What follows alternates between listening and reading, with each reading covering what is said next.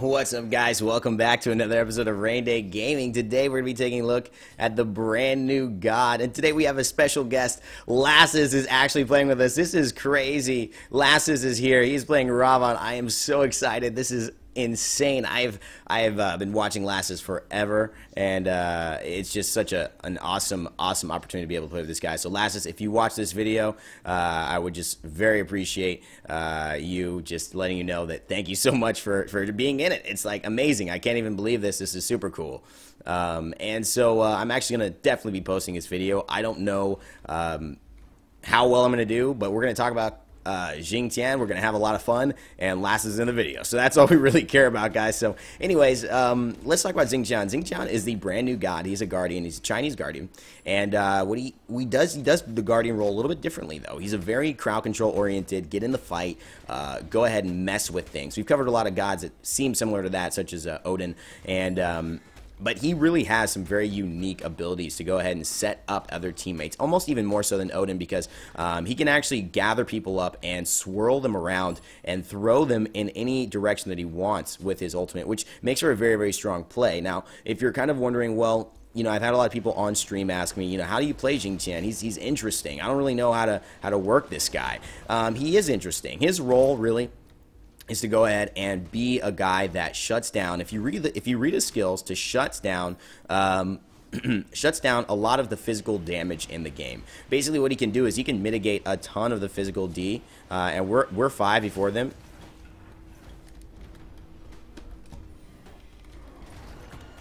So we're going to go ahead and just dominate that. There we go. Now, I might get killed, unfortunately, but uh, we did get the first blood. And, oh, no, that didn't turn into a very good situation. I thought we were going to be able to definitely have uh, a big advantage there because we hit five before them, but looks like we weren't able to follow up. We got caught in the Kukulkan stuff, which was, which was not fun. So, anyways, uh, as you can see, huge, huge setup potential with that ultimate there. And uh, one of the things that's so good about him, now, like I said, there's something about him being a physical damage representative. I really think his role in the Smite meta is going to be um, shutting down, being kind of a counter pick to very strong uh, gods that, you know, you might be able to. Um, very strong gods that are in the physical or hunter assassin or hunter role because of the fact that his number one can basically reduce the damage dealt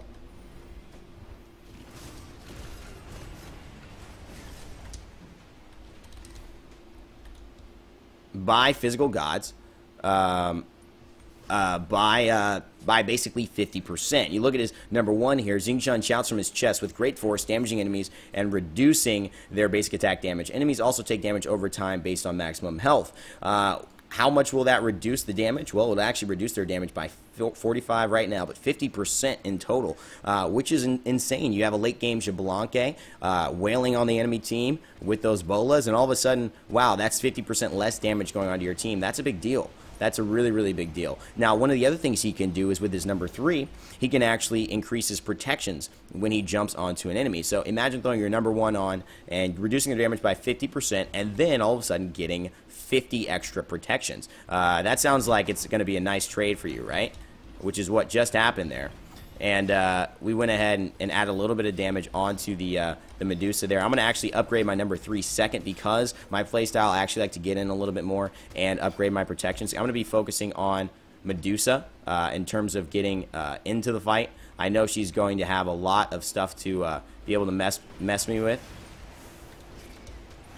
It's alright. She just used her dash. Now, the reason I know she wanted to use her dash and she's not got anything going on is because of the fact that, uh, you know, she doesn't have beads. So she knows she knows that I can jump in on her, but she knows she can dash away, so she feels pretty confident she'll be able to do that. I'm actually going to go back and get the next thing that I believe is going to be uh, game-changing in this game, especially with the Medusa uh, not having beads. I'm going to grab Blink. Now, Blink is going to allow you, much like Odin, to go into the fight and uh, and and basically uh, blink in without using your um, without using your jump. Now you're going to lose the protections you might gain being in the middle in that type of position. But one of the great things about that is you'll have your jump to escape. And you'll be able to catch people without them knowing. Um, your dash also, just to let you know, can go a little bit farther than most people's other jumps, but you'll have to extend quite a bit. There we go. And we'll go ahead and bring her up. And we'll go ahead and finish her right there. So that's exactly what we want to do. We want to shut down that high-end hunter damage. Uh, he's looking to swing us up. Uh, didn't get hit with the Kukulkan, which is great. We're going to actually jump out here. And we're going to jump in onto the Guan. We're going to knock him. Oh, and we got enough damage with the axe on the first part to actually help. Don't kill my Lassiz. Yeah. Yeah, baby. That's what I'm talking about. Oh, man. Let's do it. You rock to him. Let's do a you rock, guys. Is, I'm so pumped. This is insane. I cannot wait to post this. I am. I am like. I got to go on his stream and post um, something. I mean, I, I, I don't want to keep acting like a fanboy, but honestly, the, the beginning of Smite my Smite career, I started watching Lassiz, and there was really no way. He had a lot of streamers, a lot of people who were already following him at that point, maybe 200 or so on his on his uh, on his cast, right? And he had a lot of uh, people. It's hard to just be like, "Hey, Lassiz, you know what's up, man? You you really helped me get into Smite, etc." But um, you know, now he's got thousands. So, but uh, anyways, it's just really cool to be able to just play this game with him. Um, even if he's a Ravon and we're not talking at all. um, but but yeah, so now we're talking about you know his passive. Let's let's bring into his passive so we can understand what that does how you can even become a little bit more tankier with him. Again i'm going to be building him tanky. Uh, i have sovereignty first. We're going to be going into sovereignty uh, and then we're going to be going into heart ward amulet and then Midgardian Mail. Uh, these are the recommended items for him and i'm going to be mixing it up at the end um, with a couple of additional items. Uh, i've got my blink so we're going to go ahead. We're going to wait till the medusa might be in a good position. She's not. Uh, we're pushing our minions. The Kukulkan uses his ult and uh, I don't know if this is a good time yet. We're going to hit our number one. We're going to reduce her damage again there by 50%. So we're going to jump in on her. She's probably going to dash away, I would imagine. Oh, wow. There we go. I've got my blink available. Oh, no. Oh, no. Yep, I got picked. Oh, Khepri! Oh. What a Mac Daddy. Khepri, that was such a Mac Daddy move, baby. I love it. Uh, so we're two and one and one. We're up by five four. We're, we're up by a little bit. It's a pretty tense and close game. Um, his passive is called uh, smoldering rage. So basically, every time you use an ability, an ability hits somebody, you gain stacks of this. And what it is, it's it's classic HP five. That's it. Health per five uh, increases the amount of health you gain every five seconds. So it resets after I think 18 seconds.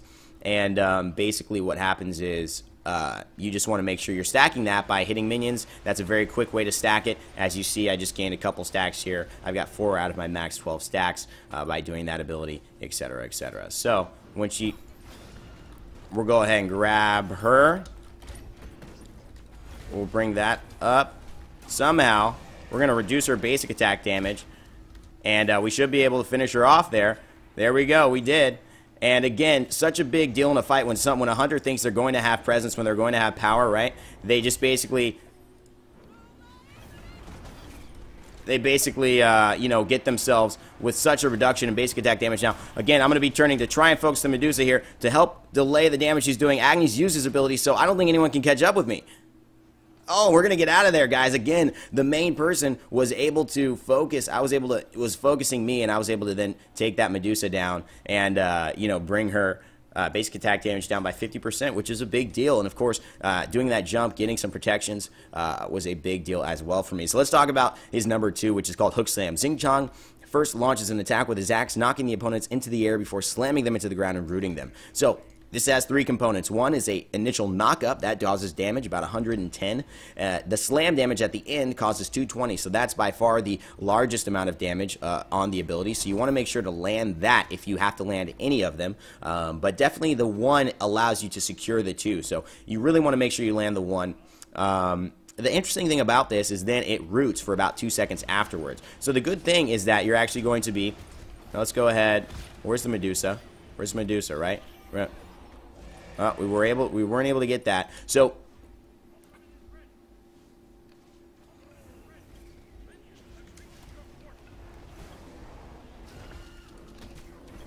Oh, we weren't able to get him. I'm trying to get, they're trying to get me. They're going for me. Oh! Oh, I don't believe it! I don't believe it. I got out. I don't believe it. Oh my goodness. Oh man, going tanky, allowing me to, to kind of get myself into position and then get out there. Unbelievable. We weren't able to get that that uh, that Medusa. However, I probably should have blinked in rather than trying to jump.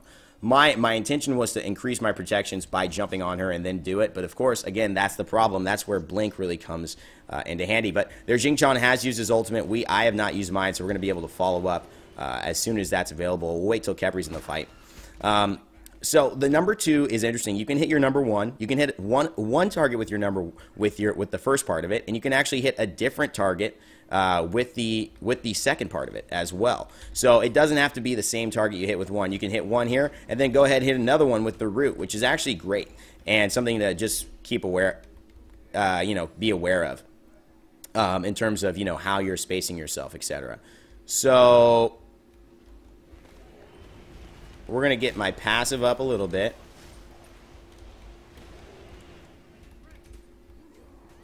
Let me go ahead and attack. What's... Oh, so they use their beads. That's fine. That's okay. He's going on the Agni. We're going to go on the Agni as well.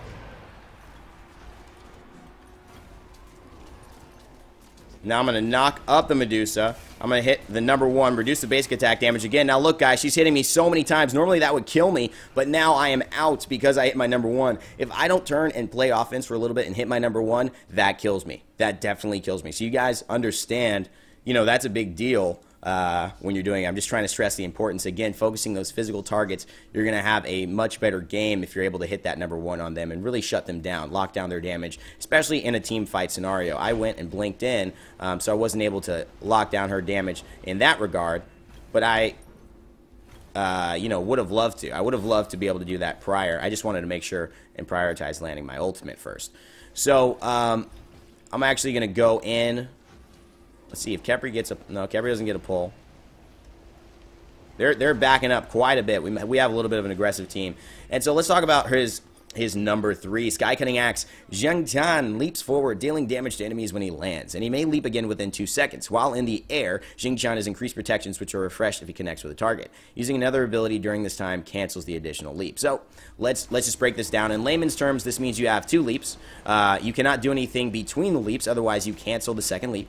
And if you land on a target by leaping, you gain the amount of protections listed in the tooltip below based on how much you've upgraded it. So that means you'd gain 50 protections um, and uh, refresh those protections by landing on the target. So you automatically get the protections when you jump, but if you land on the target, they are refreshed. So that's one of the reasons why you want to be landing on a target. See what I'm saying here?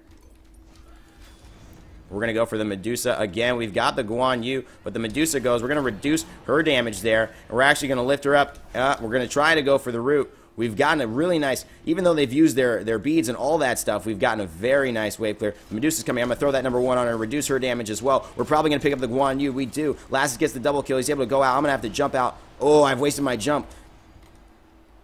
The Medusa is there. And we're going to throw our number one down and uh, head on back.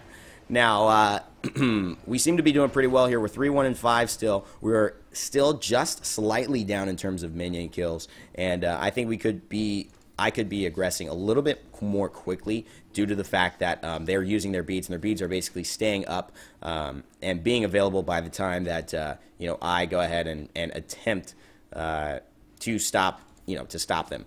Uh, so I got to do that a little bit faster. My, my ultimate and my blink will come up faster than their beads, so I need to be more cognizant of doing that. I'm going to jump in to get a little bit closer into this fight, which seems to be happening right now. I don't have anything. I could blink and root. Another strong possibility. But let's keep pushing these minions in. I've got my ultimate up in four seconds.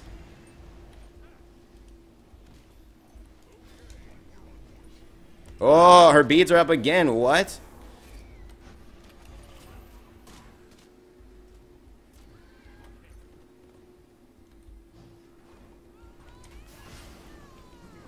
Go ahead, throw that down. She's going to be looking to follow up. We're actually going to be looking to shut that down as best we can. We're going to jump on there, gain our protections, jump here. Didn't refresh our protection. We're going to throw our number one. Oh, we didn't get the outwatch, though. Unfortunate there. And uh, we're pulling back. But our team has now taken the lead in terms of kills, which is great. That's what we wanted to see. We're going to throw that down on the Medusa. Wasn't able to get it. And uh, I'm going to pull back immediately because of that. And wait for my teammates here. Uh, the Khepri's perching a creep, Creeping Curse, which is wonderful. And let's get back into the abilities and uh, finish up with Whirlwind Rage, and we'll talk about that right now as I pick up Gem of Isolation. Then we'll go ahead and talk about the build, decipher what all that does. Um, I'll show you how that works with him. Xing Tian spins his axe three times in succession, sweeping up his enemies before throwing them. It's pretty simple. Um, you can actually go into people with this ability. Um, you can go into people with this ability and actually not have them... Uh, what am I saying here? You can go into people with this ability, and as you activate it, you can actually move. And if you move into them, you will pick them up in your swing as well. So it's not something that you know just immediately uh, will. Medusa's got three beads. Kukulkan definitely doesn't have, and the Guan Yu as well. I, I can imagine getting the Kulk and the Guan might be a really good situation for us. Um, so what I'm saying is you could be swinging here, starting your swing here, and then moving forward and picking up a couple of other people who weren't initially in your swing. And uh, so just realize that you can do that. Uh, what I would love to do is actually blink in. Yeah, the Xing Tian. Okay, so she's used her beads. That makes a lot of sense. We're going to lift her up. I'm going to be able to jump down a second unless I get rooted. I wasn't get, I wasn't rooted. We're going to go here with Lassiz. We're going to increase our protections. We're going to mess with him. And, uh, oh no, Lassiz, you didn't kill me, did you? Oh, dear God. Thank you, Cap. I appreciate it. I would have gone in if Lasses went into the worst, worst situation. I probably would have done that just to help him out. Um, so I'm going for the Gem of Isolation here. One of the other items you could go for, and which I will be going for at the end of my build, is a cooldown uh, reduction item, which I like so that we don't have the problem where people's speeds are up at the same amount of time that your ultimate is up, which is a little bit annoying. Um, the build that I basically gone for allows him to uh, really increase his level of CC. Um,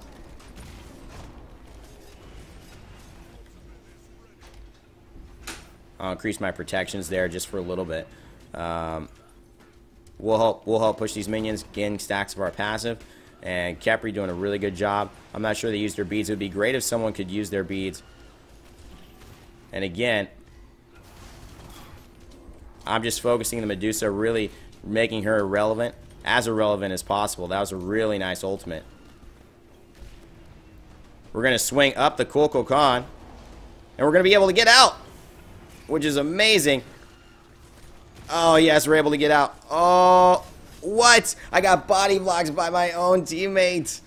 Oh, my God. I cannot believe I got body blocked by my own teammate. Was my blink up in order to do that? Oh, that's nice. That's nice. Look at that damage right there. So now everything we have is going to slow with Gem of Isolation. Let's talk about my build really quickly so you guys can see what that is. Basically, we've got Sovereignty, Physical Protection, and Health. And the allies gain 20 Magical Protections and HP 5. I'm going to be having Heartward Amulet after that which uh, which allows for some magical protection. We're just going hard on the Kukulkan here. He sees that there are issues. If you guys would have been following up a little bit faster, we would have really been able to uh, make that happen over there.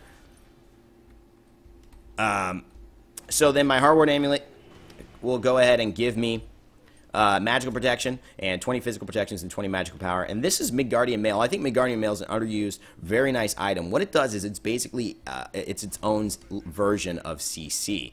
So um, that Midgardian Mail is essentially going to uh, mean that if anyone gives me get, hits a basic attack against me, and again shutting down, uh, prioritizing basic attack gods, if anyone does that, they're basically going to be. Let's see how many people we can. Let's see. What,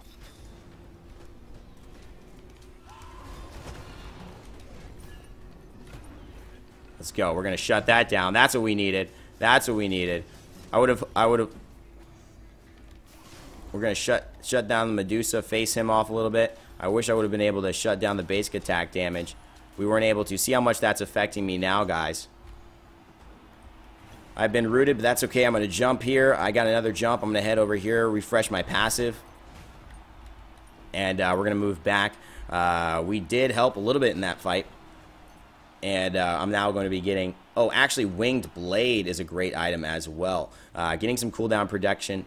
uh, reduction as well as some attack speed um, as well as some movement speed and some health. And when you're hit by a slow, you basically revert that slow and turn that slow into a movement speed ability. So uh, my apologies, guys. I think I was so tripped up with the Lassiz thing, I, I, forgot to buy that um, after Midgardian Mail. That's when I would actually suggest buying that after Midgardian Mail. Uh, so you get that cooldown reduction a little bit sooner in the match. And this also is just a really good item in terms of uh, negating the slows. Uh, for instance, Kukulkan slow, all that good stuff. That turns into something that's that's then speedy, which is really cool. Oh, he used his... No. We've got the Agni route. No one wants to follow up there. I think it was just a little bit too far. Again, I'm going to be trying to find the Medusa.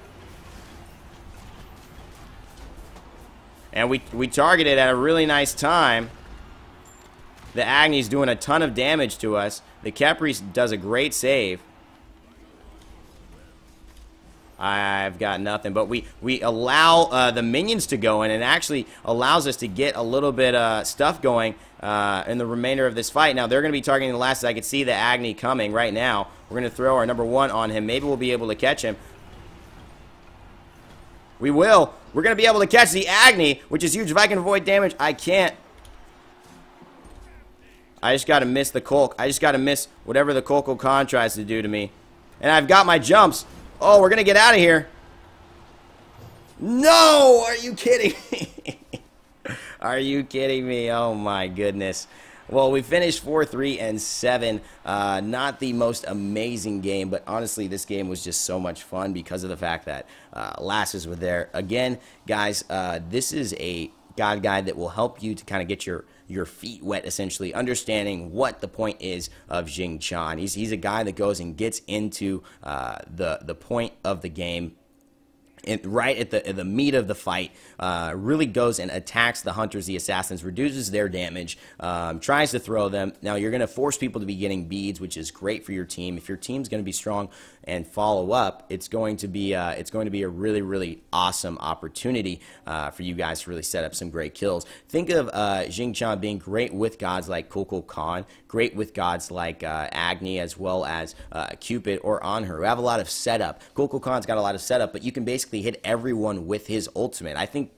personally, if we had Khan instead of uh, a Bellona at this point, or because we had the Ravan, the Bellona I think was a little bit overkill here. Not that she was bad. I think it was just not the best character pick. Um, with the Ravan, we could have gone for another mage or another damage dealing mage, and we would have, like a Khan, we really would have been able to uh, go ahead and make some damage and some crazy things happen. So look for more God guides and more stuff about um, Jing Tian. Hopefully you learned a bit about how the God works and functions. You've learned about his role, and you've learned about a build that will keep him alive and will obviously allow you to be successful and, and complete your role in Smite, which is what it's all about. You're really in there to disrupt the fight and give your, your other teammates a chance to go ahead and win and follow up. Um, unfortunately, wasn't a lot of kills coming out, out aside from Lassiz and I, but uh, we would love to see the Alp Watch. And uh, of course, probably sorry about that probably a mage here uh, in the next game uh, following up. And you can see the potential guys just with the setup that he's got.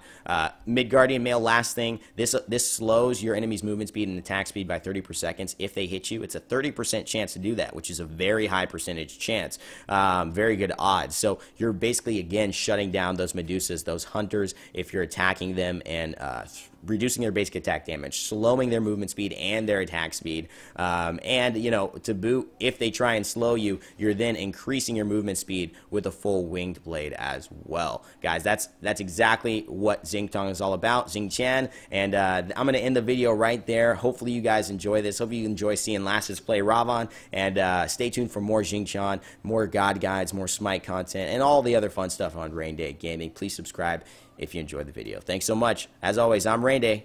Never give up, never stop gaming, and I'll see you guys next time.